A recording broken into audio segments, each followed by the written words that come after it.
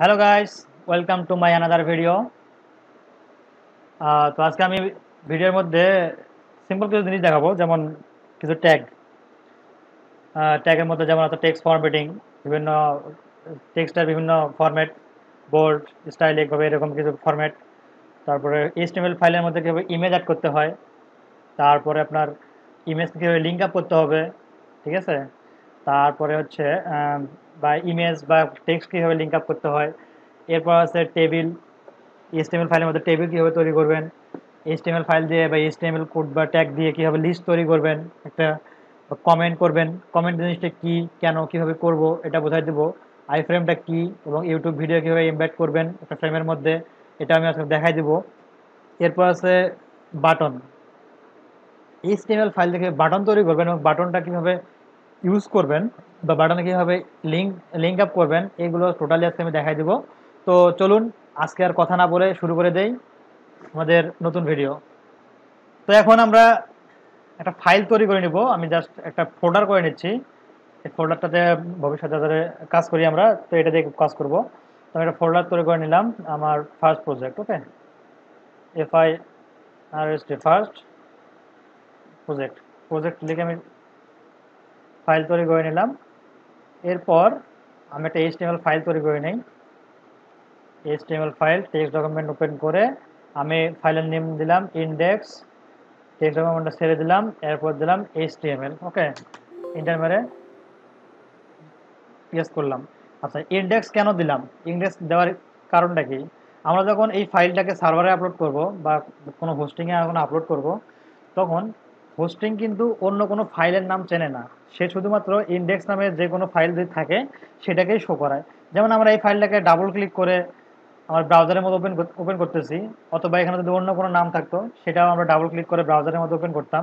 কিন্তু যখন সার্ভারে আমরা আপলোড করতাম সার্ভার যখন আপলোড করি সার্ভার কিন্তু আর বোঝে না যে এটা আসলে কি ফাইল ঠিক আছে? বা কি নামের ফাইল তো যখন তাকে ইন্ডেক্স দেওয়া হবে ইন্ডেক্স এইচটিএমএল হতে পারে বা ইন্ডেক্স পিএইচপি হতে পারে, তখন আমরা ইন্ডেক্স দিতে দিব এখানে। ইন্ডেক্স দেওয়ার ফলে সে বুঝবে যে এটাই হচ্ছে মেইন ফাইল এবং এই ফাইলটাই হচ্ছে মাদার ফাইল এখান থেকে সব কিছু মেন কন্ট্রোল করা আছে এবং এটা ওপেন করলেই ওয়েবসাইটে যাবতীয় ইনফরমেশন যাবতীয় যা যা লাগে সব শো করবে।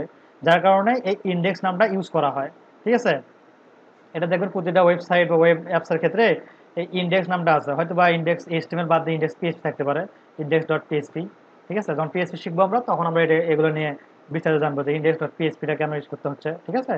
তো যেহেতু আমরা এইচটিএমএল নিয়ে এখন ধারণা নিচ্ছি, তো আমরা ওদিকে না যাই।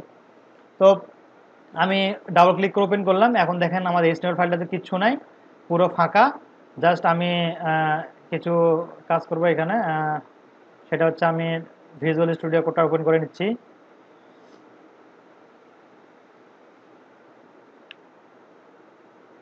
ওকে ভিজুয়াল স্টুডিও কোডটা ওপেন করে নিলাম। ওয়েলকাম লেখাটা, এটা যে ফাইল ওপেন ছিল ওটাও আমি কেটে দিলাম। এখন যে ফার্স্ট আমি কি করব? ইন্ডেক্স ডট এইচ এটা নিয়ে এখানে যদি ছেড়ে দেয় আমি, তারপরেও হবে, অথবা আমি যদি ফাইল থেকে ওপেন ফাইল করি, এরপরেও কিন্তু ফাইল এখানে নিয়ে আসতে পারব, ঠিক আছে? তো আমি আর এখান থেকেও নিয়ে আসতে পারি, যেমন দেখেন দেখেন ওপেন ফাইল ফাইল থেকে ওপেনে ক্লিক করলাম ফাইল থেকে ওপেন এরপর প্রজেক্ট ফাইল বা ফার্স্ট প্রজেক্ট সিলেক্ট করে ওপেন এখন যে ফাইলটা আমরা সিলেক্ট করব, সেই ফাইলটাকে আমি সিলেক্ট করে ওপেন করব। এখন যেহেতু আমরা এখানে ফোল্ডার ছিল ফোল্ডার ডাবল ক্লিক করে ওপেন করা যায়। আর এখন ফাইলটাকে যদি ডাবল ক্লিক করি, তারপরেও কিন্তু ওপেন হবে, অথবা সিলেক্ট করে ওপেনে ক্লিক করলে ওপেন হবে। তো আমি ডাবল ক্লিক করতেছি, দেখুন ফাইলটা ওপেন হয়ে গেল। আমি যে রিলিজ নোট এটা আমি কেটে দিচ্ছি। তো আমি গত পর্বে আপনাদের দেখাইছিলাম যে আসলে কীভাবে আপনি এইচটিএমএল যে ফরম্যাটটা আছে এইচটিএমএল কোড যে লেখা ফরম্যাট এই ফর্মেটটা কীভাবে নিয়ে আসবেন? এই ফরম্যাটটা নিয়ে আসার জন্য আপনার কী করতে হবে?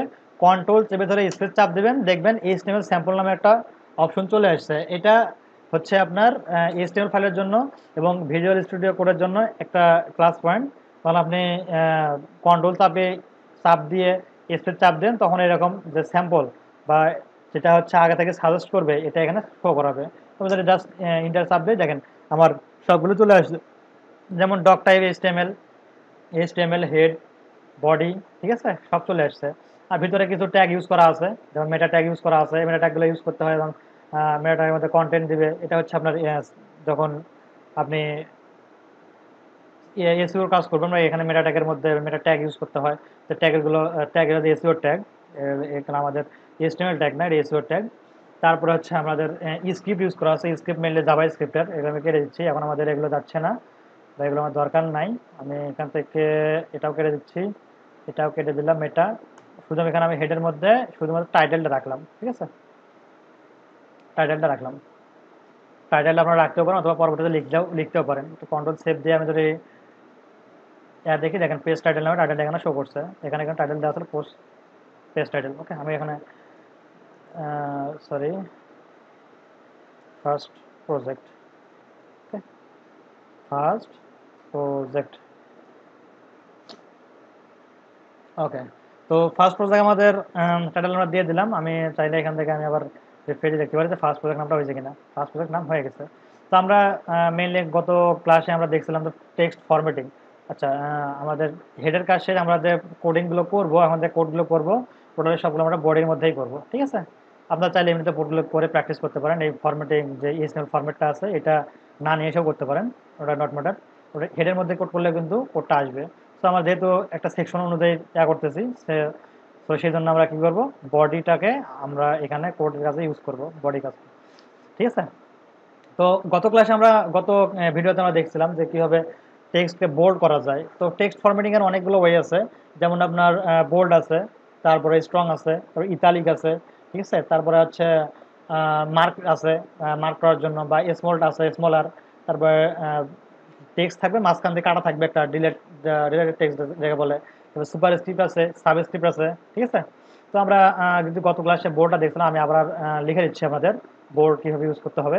তো আমি একটা লেস দেন কাটা দেন দিলাম, তারপরে সরি লেস দেন দিয়ে বোর্ড লিখলাম। দেখেন এখানে আমার কিন্তু পরেরটা যেটা এন্ডিং ট্যাগ সেটা কিন্তু চলে আসছে।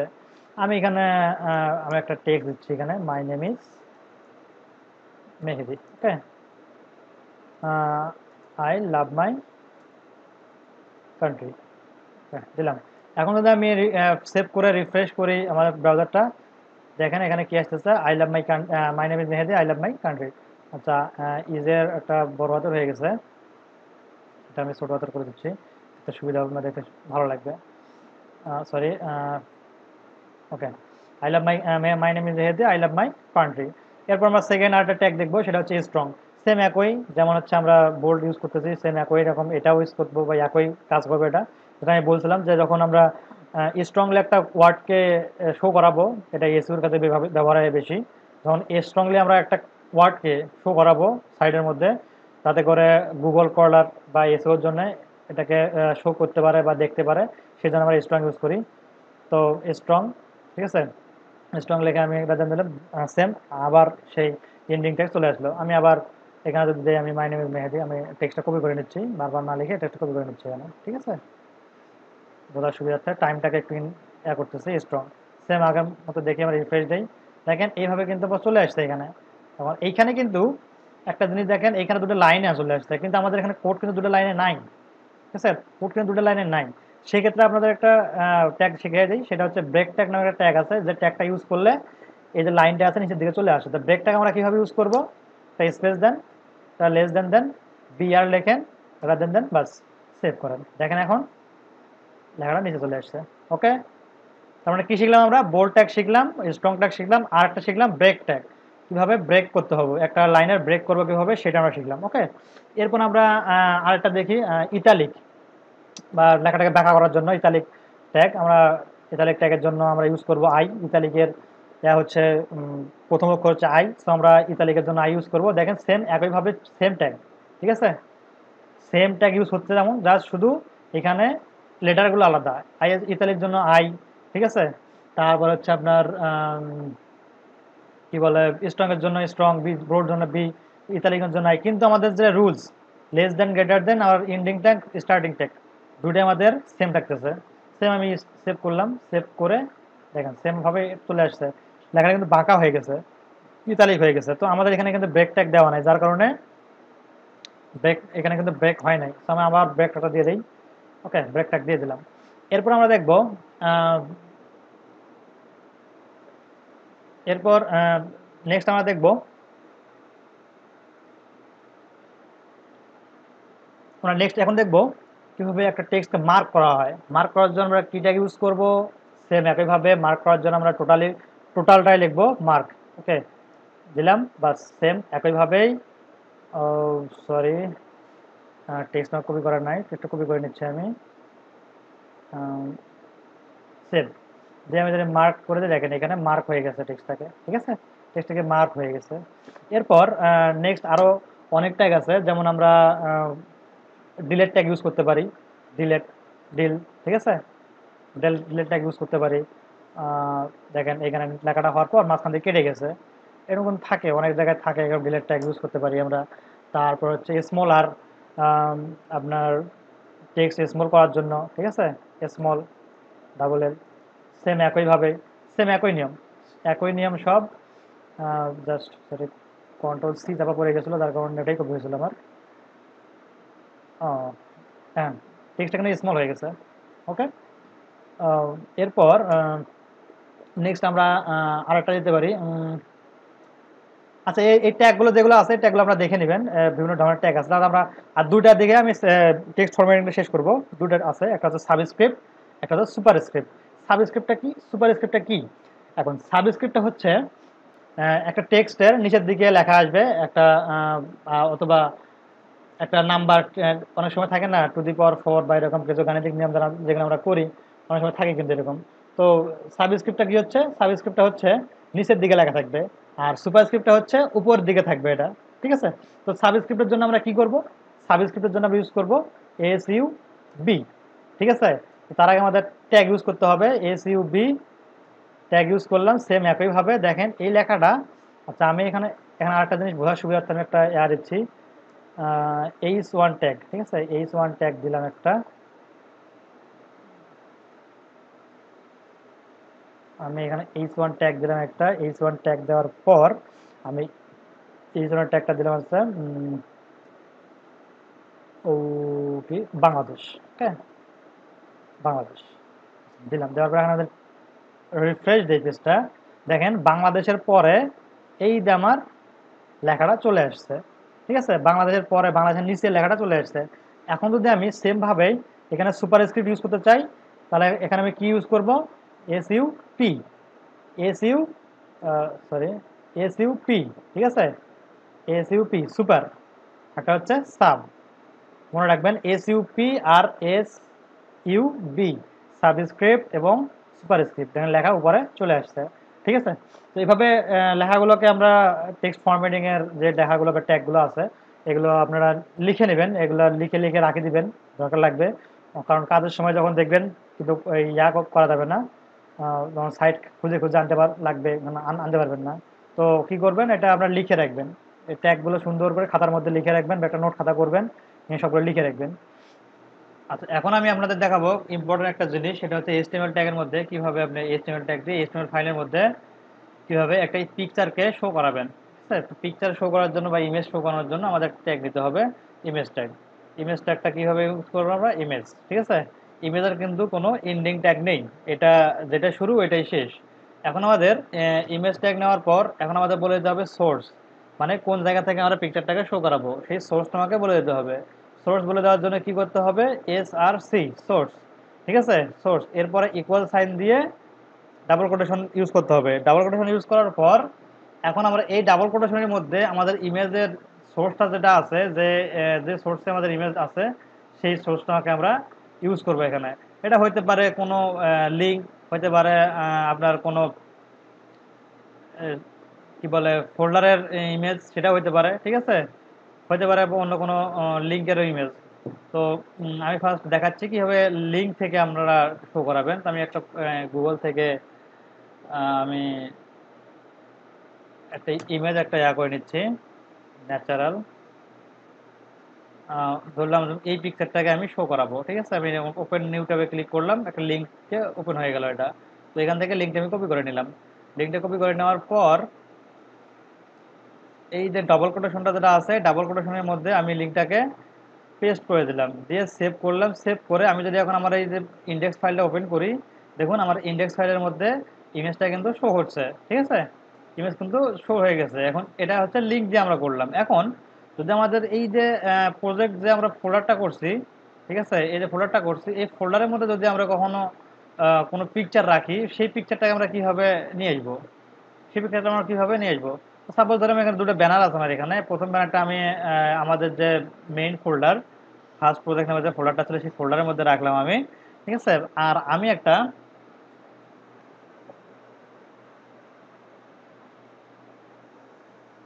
আর আমি একটা এখানে একটা ফোল্ডার করে নিব। ফোল্ডারটার নাম দেবো ইমেজ ইমেজেস ঠিক আছে? ইমেজেস নামে একটা ফোল্ডার তৈরি করলাম। এই ফোল্ডারের মধ্যে আমি এই ব্যানার টু নামে যে ইমেজটা আছে, ওইটাকে রেখে দেবো। ঠিক আছে? এখন দুইটা দেখব আমরা, যে কীভাবে ফোল্ডার থেকে আমরা ইমেজটাকে শো করাবো অথবা আমাদের যে ডিফল্ট ফোল্ডার আছে বা মেইন যে ফোল্ডার আছে যেখানে আমাদের এসটিএমএল ফাইলটা আছে, সেখান থেকে কীভাবে ইমেজ শো করাবো, এই দুটো আমরা দেখব। ঠিক আছে? তাহলে এখন একটা জিনিস, সেটা হচ্ছে আচ্ছা লিঙ্কটা আমরা এখান থেকে রিমুভ করে দেই। লিঙ্ক আমরা দেখে ফেললাম, কীভাবে লিঙ্ক আমরা শো করাবো। আমি ভিউ থেকে ট্যাগল দেখি র্যাপ ট্যাগ দিয়ে দিলাম। আচ্ছা এখন ইমেজ সোর্স এখন এই জিনিসটা একটু ভালো করে মনোযোগ দেন, যে এখন আমি হচ্ছে এইখানে যে ইমেজটা আছে, প্রথম ইমেজটা যেটা আছে banner JPG banner dot JPG এই ইমেজটাকে যদি আমি শো করাতে চাই, তাহলে আমাদের কি করতে হবে? আমি সিম্পলি আপনাদের একটা জিনিস, একটা বুদ্ধি, একটা টেকনিক শেখাই দেয় সেটা হচ্ছে এই ডাবল কোটেশনটা আছে, এই ডাবল কোটেশনের মধ্যে যদি আপনি কন্ট্রোল স্পেস চাপ দেন, তাহলে আপনাকে ডাইরেকশন বলে দেবে যে আপনি কোন ইমেজটা কোন ইমেজটাকে এখানে শো করা যাচ্ছেন সেই ইমেজের লিঙ্কগুলো এখানে শো করবে। যখন এখানে ব্যানার ডট জেপিজি যেটা আমাদের মেইন ফোল্ডারের মধ্যে আছে, সেই ইমেজটা কিন্তু এখানে শো করছে, ঠিক আছে? আর ইমেজেস ফোল্ডার আছে, সেই ইমেজেস ফোল্ডারটা কিন্তু শো করছে, কারণ ইমেজেস ফোল্ডারের মধ্যেও আমাদের একটা ইমেজ আছে। তো আমি এখান থেকেও যদি আমি ইয়া ইউজ করি জাস্ট ইন্টার ইউজ করি ইন্টার ইউজ করলে আমাদের এই সেই ইমেজটাকে এখানে চলে আসবে। আমি এখন সেভ সেভ করলাম সেভ করার পর যদি আমি রিফ্রেশ দেই, দেখুন আমার ইমেজটা কিন্তু চলে আসছে, ঠিক আছে? এখন, এটা তো আমাদের মেইন যে ইমেজের নাম, ঠিক আছে? ইমেজের নাম প্লাস এক্সটেনশন টোটালি কিন্তু পুরোটাই কপি করে, পুরোটাই কিন্তু আমাদের সেই কোডের মধ্যে দিতে হবে, ঠিক আছে? দেখেন ব্যানার ডট জেপিজি এখানে কিন্তু শুধু ব্যানার দেওয়া নাই ব্যানার ডট জেপিজি দেওয়া আছে। এখন, দেখেন ব্যানার ডট জেপিজি দেওয়া কিন্তু আছে। এখন আমার, এটা তো আমরা মেইন যে আমাদের ফোল্ডার ছিল, সেই ফোল্ডার থেকে আমরা শো করালাম, কিন্তু এই ইমেজ ফোল্ডার যেটা আছে, সেখান থেকে আমরা কীভাবে শো করাবো? সেখান থেকে আমি সেম এইভাবে ইমেজটাকে কপি করে নিয়ে দেন আমরা যদি বসাই দেয় ওখানে, তাহলে কি হবে? দেখি, হয় কি না? দেখুন, হচ্ছে না কিন্তু, ঠিক আছে? দেখেন, এইখানে জাস্ট একটা ইমেজের মতো একটা আফসা শো করছে, তো এখানে ইমেজ হবে বা ইমেজ ট্যাগ এখানে ইউজ করা হয়েছে। ইমেজটাকে সে শো করাতে পারতেছে না। তো সেই ক্ষেত্রে আমরা কি করব? সেক্ষেত্রে আমরা দুটো কাজ করতে পারি। একটা হচ্ছে, এখান থেকে আমি যেটা আপনাদের টেকনিক শেখাই দিলাম কন্ট্রোল চেপে ধরে স্পেস চাপ দিলে দেখেন ইমেজের যে ফোল্ডারটা আছে ফোল্ডারটা সিলেক্ট করার অপশন চলে আসছে। আমরা কিন্তু এখান থেকে ফোল্ডারটাও সিলেক্ট করে দিতে পারি। দেখুন ফোল্ডারটা সিলেক্ট করার সঙ্গে সঙ্গে ফোল্ডারটার নামের শেষে একটা স্ল্যাশ যুক্ত হয়েছে। তারপরে আমাদের আরেকটা সাজেশন দেখাচ্ছে ব্যানার টু জেপিজি তার মানে ব্যানার টু যে ফাইলটা আমাদের ইমেজেস ফোল্ডারের মধ্যে আছে, সেই ফাইলের নেমটা কিন্তু এখানে মেনশন করে দেওয়া আছে। আমাদের আবার ইন্টার মারি। চলে গেল। এই ইমেজটা এখানে বসে গেল। এখন যদি আমি রিফ্রেশ দেই, দেখুন চলে আসছে আমাদের ইমেজটা ঠিক আছে? এখন ইমেজ একটা। দেখুন, এটা আমরা এখান থেকে ম্যানুয়ালি টেকনিক্যালি করলাম, ঠিক আছে? আমরা যদি এখানে ম্যানুয়ালি করতে চাই, সেক্ষেত্রে কি করব? ম্যানুয়ালি করতে চাইলেও সেম প্রথমে আমরা ফোল্ডারের নামটা নিব। ফোল্ডারের নাম নেওয়ার পর ফোল্ডার নাম পেস্ট করে একটা স্লাইস দিব। স্লাইস দেওয়ার পরে আমরা ফোল্ডার ভিতর যে ইমেজটাকে আমি শো করাতে চাই, যে কোনো ইমেজ যে কোনো ইমেজ যদি শো করাতে চাই, এখানে যদি একের অধিক দশটা, পনেরোটা, বিশটা ইমেজ থাকে। তাহলে ইমে আগে ফোল্ডারের নামটা মেনশন করতে হবে, তারপরে স্ল্যাশ দিয়ে সেই ইমেজের নামটা এখানে দিতে হবে এবং অবশ্যই এক্সটেনশন সহ দিতে হবে, ঠিক আছে? যেমন জে পি জি এক্সটেনশন সহ এখানে দিতে হবে। এখন আমি রিফ্রেশ করলে দেখেন সেম একই আছে, ঠিক আছে? তো এইভাবেই আমরা মেইনলি ইমেজটাকে এখানে অ্যাড করতে পারি। তো এখানে আরও অনেক কাজ আছে ইমেজের ইমেজের হাইট উইথ তারপরে ওয়াল্টার ট্যাগ ইউজ করা ওয়াল্টার এখানে নাম শো করবে লিঙ্ক আপ করানো, এগুলো অনেক জিনিস আছে, এগুলো আমরা নেক্সটে যখন আমরা কাজ করব, ভবিষ্যতে দেখব ওরা, ধীরে ধীরে দেখব। ঠিক আছে? আচ্ছা আচ্ছা এখন আমি, আপনাদের দেখাবো কীভাবে লিঙ্ক আপ করবেন, একটা টেক্সট কীভাবে লিঙ্ক আপ করবেন। টেক্সট লিঙ্ক আপ করার জন্য আপনাদের ট্যাগ নিতে হবে এ ট্যাগ অ্যাঙ্কোর ট্যাগ ঠিক আছে? অ্যাঙ্কোরের এ অ্যাঙ্কোর ট্যাগ নিতে হবে, একটা টেক্সটকে লিঙ্ক আপ করার জন্য। মানে টেক্সটে ক্লিক করলে যে কোনো জায়গায় চলে যাবে আর কি। তো অ্যাঙ্কর ট্যাগের জন্য এ নিতে হবে। লেজেন্ড দিলাম এ দিলাম গ্রেটার দিলাম, ঠিক আছে? দেখেন, আমাদের ইন্ডিয়ান ট্যাগ চলে আসছে। এখন যদি আমি এখানে কোনো লেখা লেখি visit my my Facebook okay Facebook লিখলাম। ভিজিট মাই যে ফেসবুক লিখলাম ভিজিট মাই যে ফেসবুক লিখলাম, এখন তো ভিজিট মাই ফেসবুক ক্লিক করলে তো আর ফেসবুকে যাবে না। আমাকে দেখা দিতে হবে বা see by see my Facebook okay এখন আমাকে দেখা দিতে হবে ফেসবুকের লিঙ্কটা সেই লিঙ্ক আপটা কীভাবে করব? এই এটা আছে, এটার পর একটা স্পেস দিব। স্পেস দেওয়ার পর এখানে লিখব এইচ আর ইএফ দেখেন ইমেজটাকে ক্ষেত্রে কিন্তু আমরা সোর্স ইউজ করছিলাম, এখানে আমরা ইউজ করব এইচ আর ইএফ মানে হাইপার টেক্সট হাইপার রেফারেন্স ঠিক আছে? হাইপার রেফারেন্স মানে যে রেফারেন্স দিচ্ছে আমরা, সেই হাইপার রেফারেন্স আমরা এখানে অ্যাড করব। তো আমরা এইচ আর ইএফ দিলাম, দেওয়ার পর আমি ইকুয়াল সাইন দিলাম, দেওয়ার পরে ডাবল কোটেশন নিয়ে নিলাম।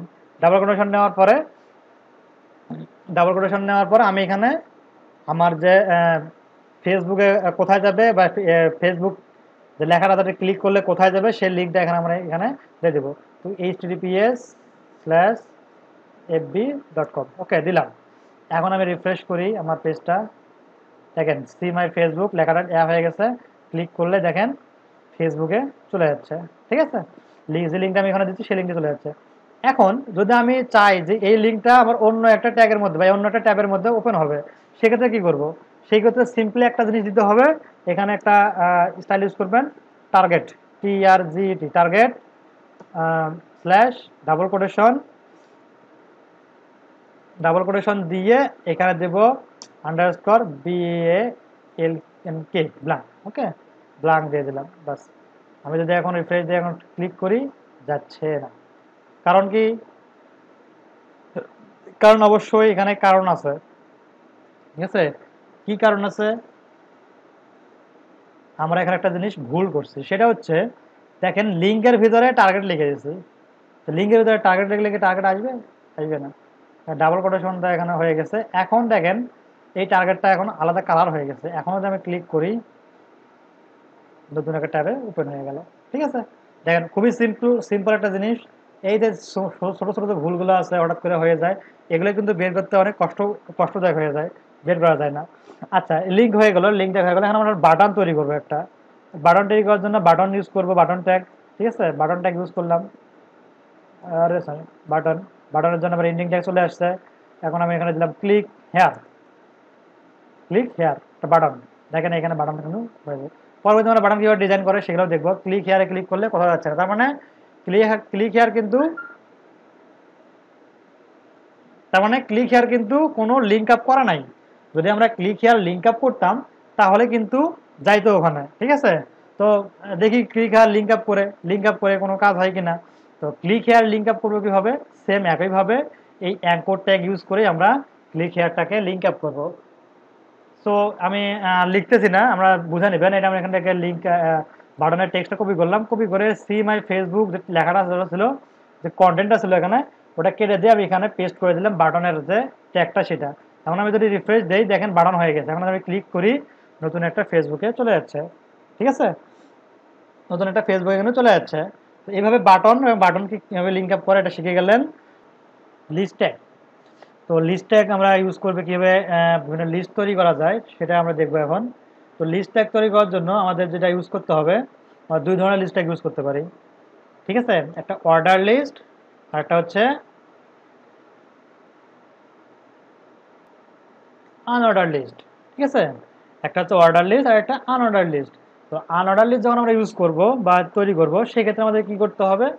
আনঅর্ডার লিস্ট ইউজ করার জন্য আমাদের ইউজ করতে হবে ইউএল ঠিক আছে? আনঅর্ডার লিস্ট ঠিক আছে? আনঅর্ডার লিস্ট আমাদের ইউজ করতে হবে, ঠিক আছে? তো আমি এখানে ইউএল দিলাম। তারপরে ইন্ডিংয়ের ট্যাক্স চলে আসছে। আমি এটা ফাঁকা করে নিচ্ছি। এখন আমরা এখানে লিস্ট তৈরি করব। আনঅর্ডার লিস্ট কোনটা? যেটা একটা পয়েন্ট দিয়ে পয়েন্ট দিয়ে যেগুলো লিস্ট তৈরি করা হয়, এটাকে বলা হয় আনঅর্ডার লিস্ট ঠিক আছে? আর যেটা হচ্ছে অর্ডার লিস্ট সেটা এক, দুই, তিন, চার করে শো করে। তো আনঅর্ডার লিস্ট যেহেতু আমরা ট্যাগ আগে ইউজ করতেছি, তো আমরা এখন একটা লিস্ট নেব। তো লিস্ট ইউজ করার জন্য আমাদের লিস্ট ট্যাগ ইউজ করতে হবে। আবারও বলতেছি, আপনারা অবশ্যই ট্যাগগুলো দেখবেন। ট্যাগগুলো কোথায় কি আছে, কি ট্যাগ কি কাজ ইউজ করা হয়, এগুলো দেখবেন ভালো করে। তো লিস্ট ট্যাগ ইউজ করার জন্য আমাদের কিন্তু টোটালি লিস্ট লিখতে হবে না। আমাদের টোটালি লিখতে হবে এল আই লেস দেন বাস আমাদের কিন্তু চলে আসছে ইন্ডিং ট্যাগ চলে আসছে। তো আমি এখানে লিস্ট দিলাম, ধরেন বাংলাদেশ। এরপর সেম লিস্ট একদম ট্যাগটা ইউজ করতে হবে। লিস্ট ট্যাগ ওকে ঠিক আছে? এখানে বাংলাদেশ দিলাম, এখানে দিলাম ইন্ডিয়া ইন্ডিয়া এইখানে দিচ্ছে হলো পাকিস্তান। পাকিস্তান এইখানে দিলাম হচ্ছে মায়ানমার, ঠিক আছে? মায়ানমার। মায়ানমার দিলাম। এখন যদি আমি সেভ করে রিফ্রেশ করি পেজটাকে রিফ্রেশ করে দিলে পেজটাকে দেখেন এখানে আনঅর্ডার লিস্ট চলে আসছে। এইভাবে কিন্তু আনঅর্ডার লিস্ট তৈরি করা লাগে। সেম একইভাবে শুধুমাত্র সেম লিস্ট থাকবে। এইখানে লাগবে থাকবে শুধু আমাদের ওএল ঠিক আছে? ওএল দিলেই হবে অর্ডার লিস্ট ঠিক আছে? ওএল যদি আমরা দিই, তাহলে দেখবেন এটা কিন্তু এক, দুই, তিন, চার, পাঁচ, ছয় করে চলে আসছে। ঠিক আছে? এটা হচ্ছে লিস্ট চলে গেল। এখন আমরা যদি চাই যে আমাদের যে ভ্যালুটা আছে অর্ডার লিস্টের যে ভ্যালুটা আছে, এক, দুই, তিন, চার, এক থেকে শুরু হয়েছে, আমি যদি চাই এখানে পাঁচ থেকে শুরু হবে, সেক্ষেত্রে আমরা কি করব? সেক্ষেত্রে আমরা কি করব? আমরা এখানে একটা স্পেস দিব, দিয়ে দেব ভ্যালু ভ্যালু দিয়ে ইকুয়াল সাইন দিয়ে ডাবল কোটেশনের মধ্যে লিখব, যেখান থেকে শুরু করতে চাই আমরা। ধরেন আমি দশ থেকে শুরু করতে চাই। দশ থেকে শুরু করতে চাইলে দশ লিখব এখানে, ঠিক আছে? দশ লিখে সেমভাবে নিচেও আমরা লিখতে হবে। ভ্যালুটা, কত ভ্যালু হবে, এখানে দিতে হবে ভ্যালু, ঠিক আছে? আমরা মায়ের মাটা দিলাম না। দেখি মায়ের মাটা কী অবস্থা, কি হয়, কি আসে। দেখেন, দশ দশ দশ, এগারো। দশ দশ দশ, এগারো আসছে। তার মানে এইখান থেকে দশ দশ দশ আসছে, পরেরটা নিয়ে নিয়েছে এগারো। এখন আমি এই যে ভ্যালুটা বাদ দিয়ে দিই আমি, আমাদের বাদ দিয়ে দিই ভ্যালুটাকে, এখন আমি সেভ করে দিই। আমাদের রিফ্রেজে দেখেন, দশ, এগারো, বারো, তেরো। এইভাবে ভ্যালু অ্যাড করে আমরা বিভিন্ন ধরনের নাম্বার থেকে শুরু করতে পারি। ঠিক আছে? অর্ডার লিস্ট গেল আনঅর্ডার লিস্ট চলে গেল। এখন আমরা আরেকটা জিনিস অ্যাড করব, সেটা হচ্ছে ফ্রেম ফ্রেম ট্যাগ ইউজ করে কীভাবে আপনি একটা ভিডিও টিউ টিউটোরিয়াল সরি ভিডিওর ইউআরএল আপনার এইচটিএমএল ফাইলের মধ্যে শো করাইতে পারেন। এটা একটু আমরা দেখে নেই। কীভাবে আমরা ভিডিও টিউটোরিয়াল বা ভিডিওর ইউআরএল শো করাবেন। তো সেই জন্য আমাদের একটা ট্যাগ নিতে হবে। ট্যাগটার নাম হচ্ছে ফ্রেম সেট বা ফ্রেম ট্যাগ ঠিক আছে? আই ফ্রেম নামে এটা ইউজ করা হয় ফ্রেম সেট বা ফ্রেম ট্যাগ এটা দিয়ে ইউজ করা হয়। ফ্রেম ট্যাগ ইউজ করতে চাইলে আমাদের ফ্রেম ট্যাগ ইউজ করতে হবে ফ্রেম ট্যাগ লিখতে হবে। ফ্রেম ট্যাগ লেখার জন্য আমাদের কি ইউজ করতে হবে? ফ্রেম ট্যাগ লেখার জন্য ইউজ করতে হবে আই ফ্রেম দেখেন, নিচে চলে এসছে iframe less greater than দিয়ে দিলাম, ঠিক আছে? এখন আমি এখানের মধ্যে ফ্রেম এই ফ্রেমের মধ্যে আমি বিভিন্ন ধরনের টেক্সট অথবা লিঙ্ক শেয়ার করব। তো শেয়ার করার জন্য কি করতে হবে আমাকে? আমি এখানে লিঙ্ক দিব। আইফের মধ্যে যদি লিঙ্ক শো শো করাতে চাই, ধরেন আমি এখানে লিঙ্ক শো করাবো আমার সাইডে লিঙ্ক শো করাবো এখানে। ঠিক আছে আমার সাইডের লিঙ্কটা এখানে শো করাবো। আমি কি করব এখানে? লিঙ্ক শো করানোর জন্য আমি এখানে দিব source S R C source sorry space দিয়ে দিব S R C source equal sign দেওয়ার পর ডাবল কোটেশনের মধ্যে আমার লিঙ্কটা দিয়ে দিব। এখন আমি এটাতে রিফ্রেশ করি। এখন এখানে চলে আসছে আমার এটা। কিন্তু কেমন সাইজ হবে দেখছেন? কেমন একটা সাইজ মোবাইল ভার্সনে চলে আসছে। এখন আমি চাইলে এটা কিন্তু বিভিন্ন ধরনের সাইজ তৈরি করতে পারি। যেমন আমি যদি এখানে উইথ দেই উইথ বা হাইট যদি দেই, তাহলে কিন্তু সেইভাবেই চলে আসবে। আমি এখন তাহলে উইথ দেই। W I D T H width ঠিক আছে? চলে আসলো উইথ চলে আসলো।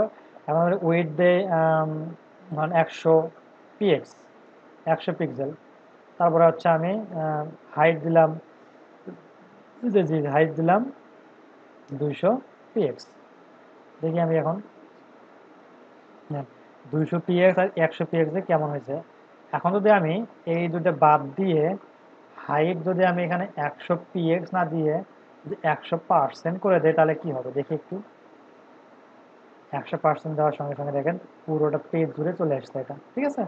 মানে উইড আমাদের একশো পার্সেন্ট এই পাশ থেকে এই পাশে উইড চলে আসতে হবে। হাইট যদি আমি দেই হাইট হাইট যদি আমি দেই হচ্ছে একশো পার্সেন্ট তাহলে কি হবে? এখানে বিভিন্ন ধরনের পিক্সেল সেট করেও কিন্তু এই পিক্সেলটাকে দেওয়া যায়। হাইট হাইট আমি একশো পার্সেন্ট নিচ্ছে না, আমাদের পাঁচশো পিক্সেল দিই। পাঁচশো পিক্সেল সরি